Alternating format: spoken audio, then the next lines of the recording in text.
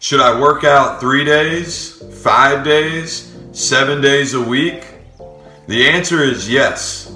Welcome back to this week's Sunday Huddle. And I get that question a lot from athletes and parents of athletes. Well, Sam, Coach Sam, how much should I work out? Should, should it be multiple days a week? Should it be every day a week?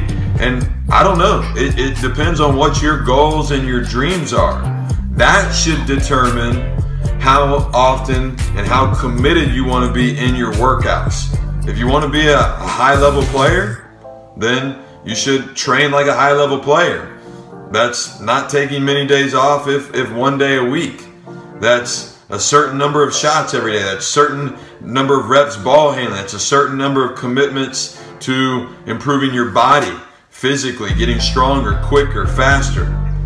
And if you don't have big dreams or goals, well, then your work ethic and your commitment should match up to that. So the answer is whatever your goals and dreams are, do your current work habits, do your current work ethic line up with your future goals and dreams? You have to be answering. To do that, you got to have two things. You got to be self aware. And number two, you got to be honest. Honest with yourself.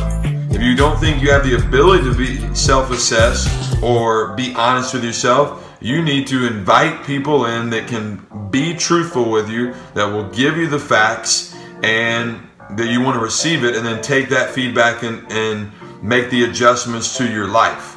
If you don't have that person, if you don't have a coach, if you don't have a parent, if you don't have a friend or a teammate who's going to give it to you, reach out to me. I'd love to have that conversation with you and help you line up your work habits and your commitments with your future goals and dreams? That's the million dollar question you need to ask yourself. Do my current commitments line up with my future goals and dreams? I'm excited to see what you do with this message. Most importantly, don't let another day go by without you attacking it, without you going after it. You will not regret regret putting in the work. You will not regret being committed and going after these things. I'm excited to see what you do.